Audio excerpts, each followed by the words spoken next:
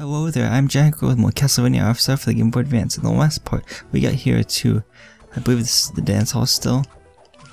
Let me check, uh, does it say on the map? I don't think it does.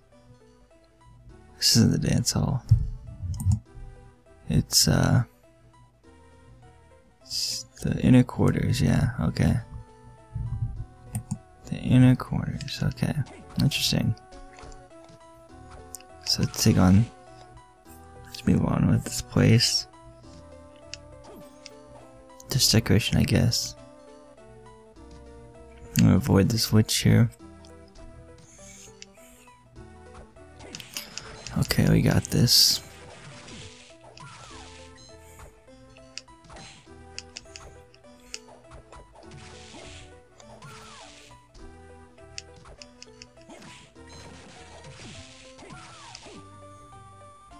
This. Okay, we're gonna have to equip our uh, Undying, Undying Soul, whatever you pronounce it, so we can walk on water here.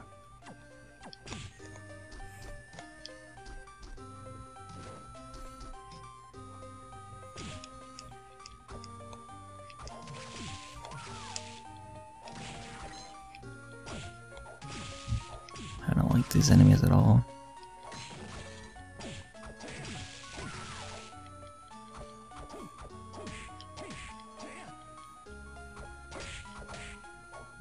This enemy's annoying. There we go. This is a good place to get the code stuff you can get. That's something you'll need for later on. Let's see what's down here.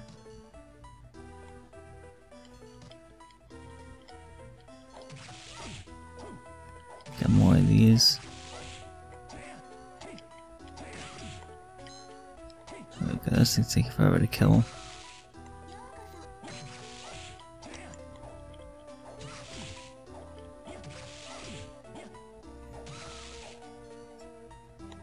It's down here.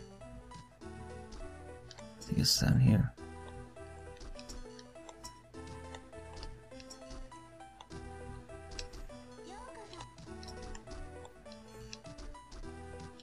Can avoid you.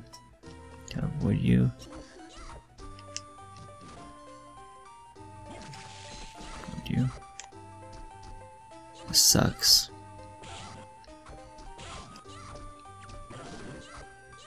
MP is gonna drop.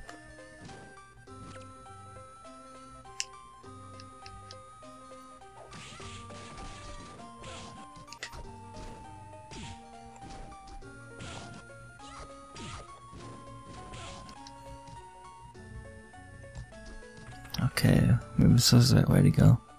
Yeah, now in the castle corridor, I believe.